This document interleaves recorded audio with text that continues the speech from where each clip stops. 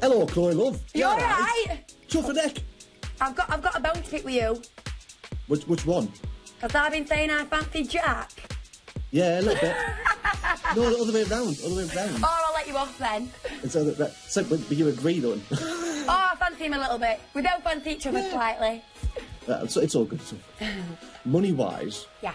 do you feel that you need the money in the house more than anybody else does? Oh no, has that come across like that?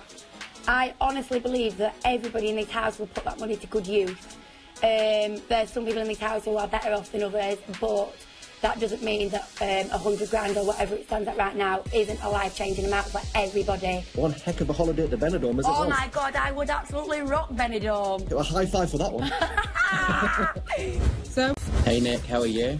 Hello. How are you, Mr. Cameron? Uh, Mr. Cameron, um, I'm going to put you in your place uh, right there. I am me. My place is a citizen of this country, and as a citizen of this country, I have something quite interesting to ask you. How much would it upset your fans who are paying good money to vote for you? Those fans that you do not respect one little bit.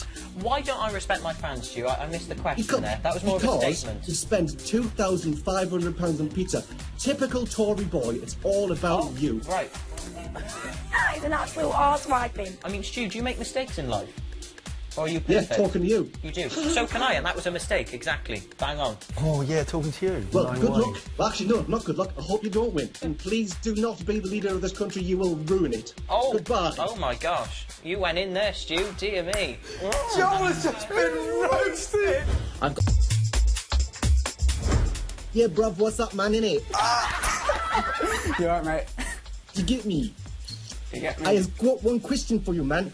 What is that accent all about? Where is you actually from, brother? I'm from uh, Blackburn.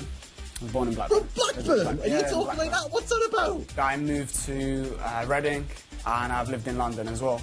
Is it? Uh, it's Yeah. just kind of like the, the way I make music and it's the, it's the way I rap in music. Exactly Has how. got to go. Um, Has got to go, man. Peace out, bruv. all right. You get me? He did not like that.